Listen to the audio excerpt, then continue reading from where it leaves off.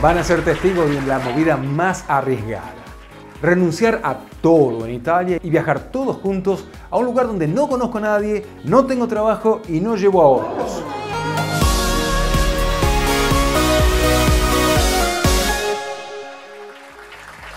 Planifiqué partir hacia Málaga a finales de agosto, justo luego de la famosa feria. Renuncié a mi trabajo en la imprenta de Riccione. Saben, tenía un contrato a tiempo indefinido, era efectivo. Di de baja todos los servicios y el contrato de alquiler. Exprimí al máximo la tarjeta de crédito para llevar un poco de efectivo a España. Amigos y familiares hacían cola para decirme que era una idea absurda, que lo piense bien. ¿Por qué la elección de Málaga y no Barcelona que tanto me había gustado? Bueno, por el idioma. En Málaga se habla solo castellano. En la escuela castellano, en la calle castellano. Pero en el próximo video les voy a contar que no todo es color de rosa con el castellano en Málaga. Nuevamente una gran mudanza. Preparamos 60 o 70 cajas, no me recuerdo cuántas eran, pero embalamos todas nuestras cosas y las enviamos por tierra unos 10 días antes de nuestra partida. Más o menos en esos días organizamos un viaje a Roma. Lo llevamos al noviecito de la mayor. Era en cierto modo una despedida y a pesar de todo lo pasamos hermoso. De un momento al otro estábamos en el avión viajando al sur de España. Era la primera vez que viajábamos todos juntos. Desembarcamos en el aeropuerto de Málaga y uno siente ya la tranquilidad, la seguridad de poder manejarse en su propio idioma. Sabía de memoria la dirección del apartamento donde estábamos yendo. Tuvimos que tomar dos taxis porque no entramos todos en uno solo. Subo con las dos más grandes, saludo al chofer con garbo y me pide la dirección de destino.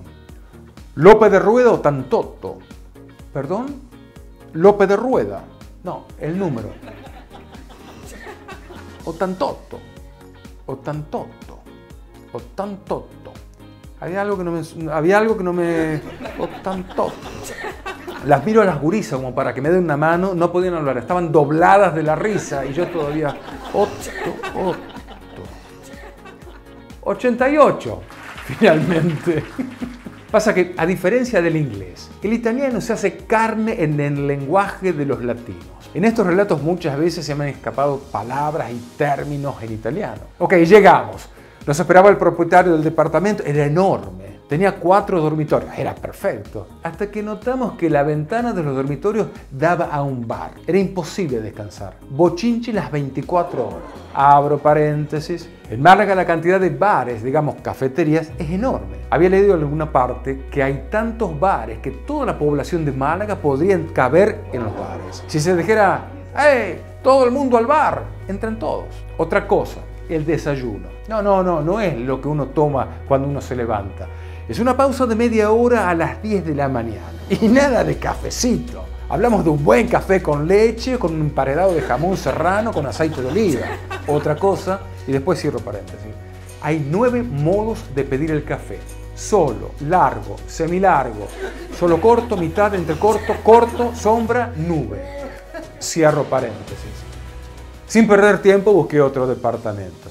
En este caso estábamos más cerca del casco antiguo de Málaga, tercer piso, era un departamento realmente chico, era una caja de zapatos. Ah, y a todo esto, todavía no habíamos recibido las cajas que habíamos enviado desde Richone. Eh, no, después llegaron, sí, sí, después llegaron. Para entonces, ya desde hace unos días, había iniciado mi búsqueda de trabajo. Salía de mañana y volvía a la tarde, distribuyendo currículums en serigrafía, estudios gráficos, imprentas, en fin, eh, buscando en lo que es mi campo. Paralelamente ya habíamos inscrito a las nenas en las escuelas e iniciado el trámite para el documento de identidad español un capítulo aparte, el clima de Málaga. Cuando hace calor, hermano, hace mucho calor. Y si te dicen, ahí viene el terral, no salgas a la calle al mediodía. Es una corriente de aire caliente y seca que te derrite. Málaga está sobre el mar Mediterráneo, casi donde España hace la panza allá abajo. La gente es muy gentil en general, muy espontánea, como decir, son más expresivos que los italianos. Por ejemplo, era normal en el autobús escuchar la conversación entre dos personas. Estaban en lados opuestos del colectivo. Sí, a boca de jarro, ningún problema. Todo muy lindo, ¿no? Pero noticias del trabajo, nada. Cuando ya me estaba desesperando en una de mis recorridas por el polígono industrial de Guadalajara, llego a Rótulos Framaluz. Yo les contaría cómo anduvo la entrevista con el titular de Rótulos Framaluz, pero vamos a tener que esperar el próximo relato. Amici, ci vediamo alla prossima!